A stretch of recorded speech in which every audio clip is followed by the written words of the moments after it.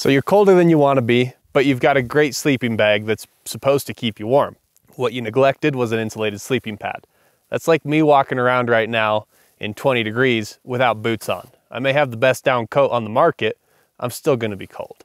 In this video, I'm gonna talk about how they get that rating for a sleeping bag. Then I'm gonna talk about what you actually need to do to achieve that comfort rating in your sleep system. I wanna break down some of the technical side of what an insulated sleeping pad actually does for you.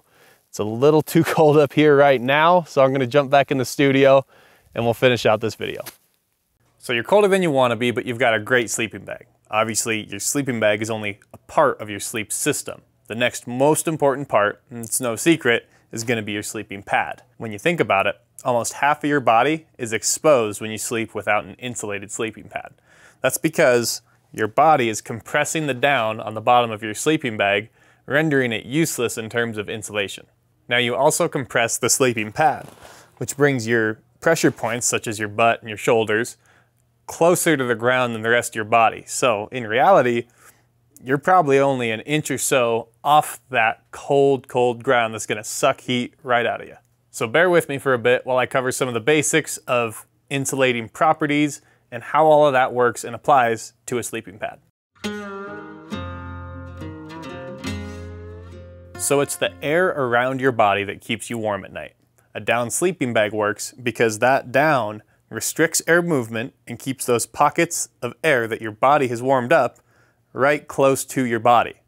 This is the basic principle for most types of insulation. Even your mid layer does this. It keeps warm pockets of air close to your body and keeps that heat from moving around and escaping.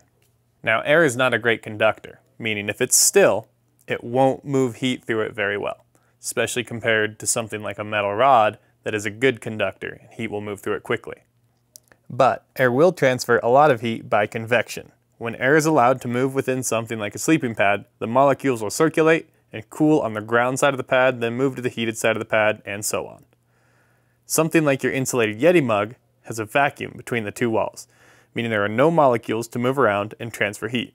This is the ideal type of insulation, but obviously you can't do this in a sleeping pad. Down or synthetic insulation is used to reduce movement of molecules and therefore the transfer of heat between you and the ground. As you use energy to heat the air within your sleeping pad, those air pockets stay close to your skin and transfer less heat to the ground, requiring less energy to keep warm.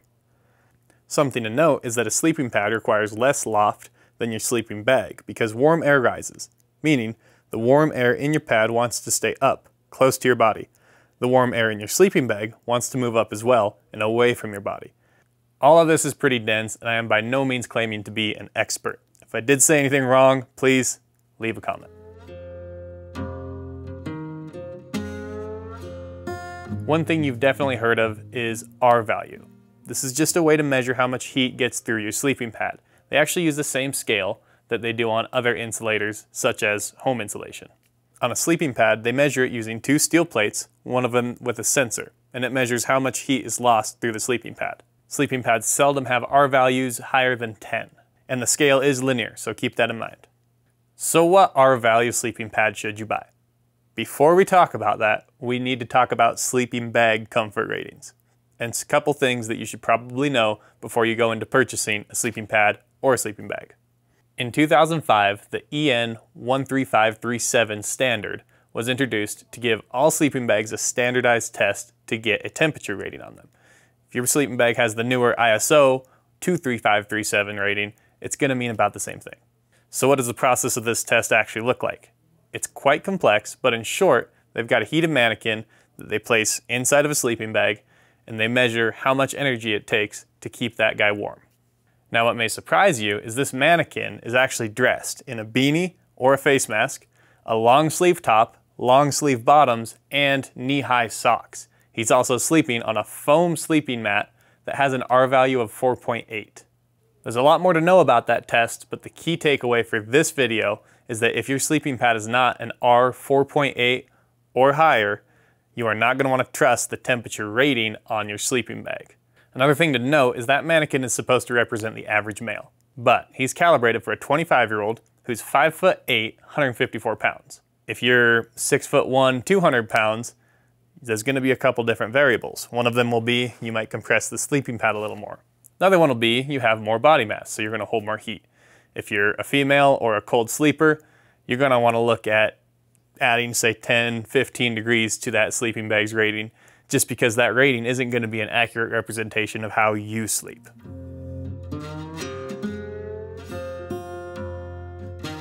Okay, I've gone on enough about the technical side of things. Let's talk about what R value sleeping pad you should actually buy. If you did some research online, you've probably seen a couple different charts, such as REI has one that breaks down the sleeping pad R value by temperature. The issue with that is not all of us can afford to buy three or four different sleeping pads. So which one should you purchase?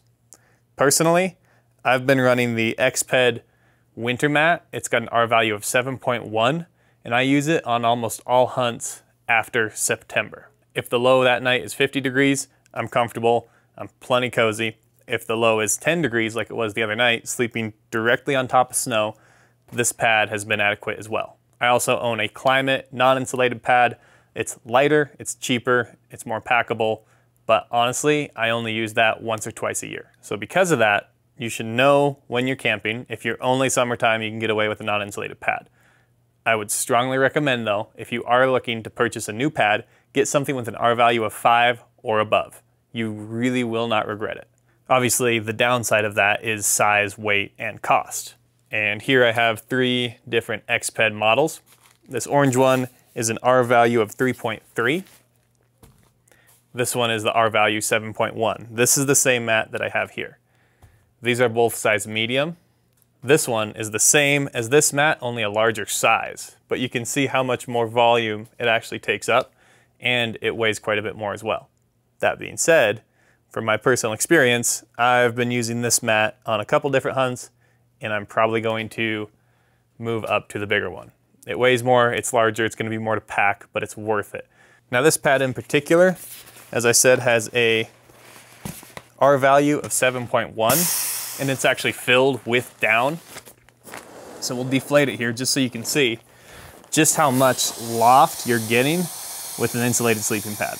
So that's totally deflated and you can see there's a lot of loft in here. There's actual down feathers in there keeping you warm.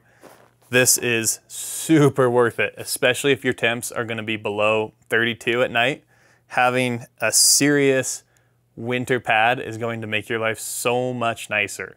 It's also going to give you insurance. If your sleeping bag gets a little wet, having an overly warm pad will help you there. Now, as I said before, your sleeping pad and your sleeping bag are only part of the equation. Having a warm tent, having proper hydration and fuel before you go to sleep, and just your personal body type is gonna make a big difference in how warm you sleep at night. So, you should never underestimate the importance of a proper sleep system and routine. If this video is helpful to you, give it a like, subscribe to our channel. If you have any questions about gear, give us a call. You can find our info at GearFool.com. And thanks for watching.